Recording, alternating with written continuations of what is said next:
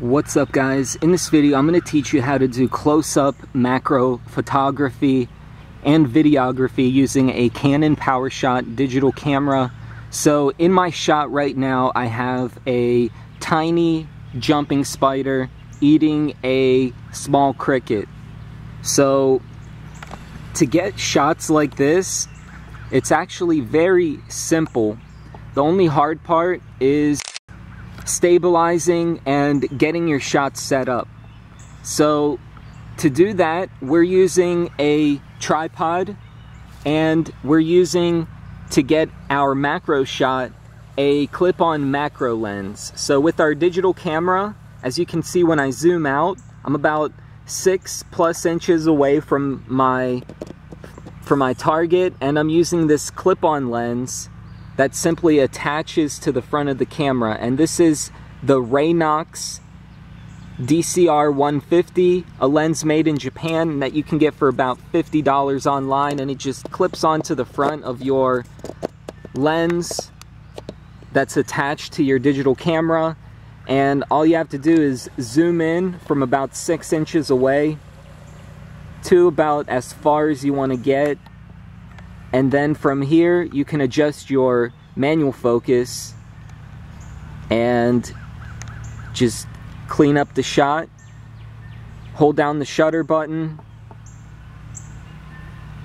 Wait for the right shot. And that's it. And we got a nice close-up macro photo. So what I would recommend with insects and really close-up macro photography like this is that you take a photo of the target facing it, so facing its face. So let me actually show you. Here's a strange looking fly. So let's get a photo of this guy in super macro. So we're gonna get in really close on its face and then we're gonna adjust our focus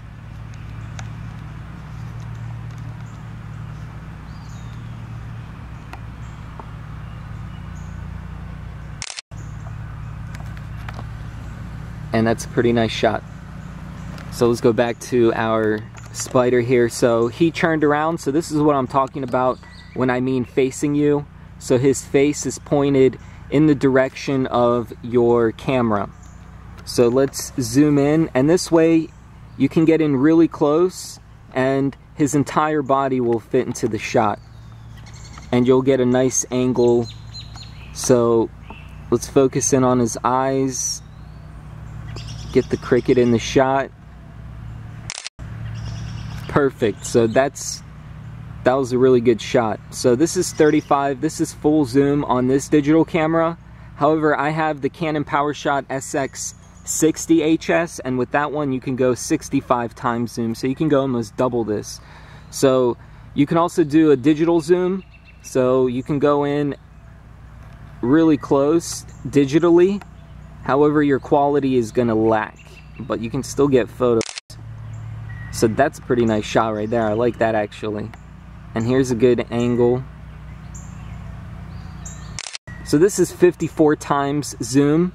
So if you get the PowerShot SX 60HS, you'll be able to go this far and still be in optical zoom, meaning you'll have full quality HD 1080p 60 FPS quality and that's pretty much all there is to this photography.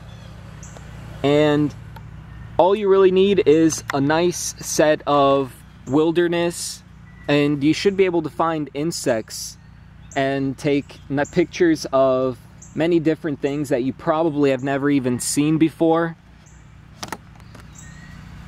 And that's pretty much it. So I hope you guys found this video helpful. Drop a comment down below if you have any questions and I'll do my best to answer. So I got really lucky. So this is this was a really cool photo. A nice contrast on a colorful jumping spider and like a neon green cricket here or grasshopper. I'm not really sure what the difference is, but there we go.